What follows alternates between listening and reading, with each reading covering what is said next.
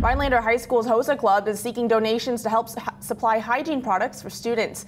You can donate products like deodorant, combs, tampons, shampoo, band-aids, and more. If you'd like, you can bring them to the front office at the high school. For more information, please contact the number on your screen.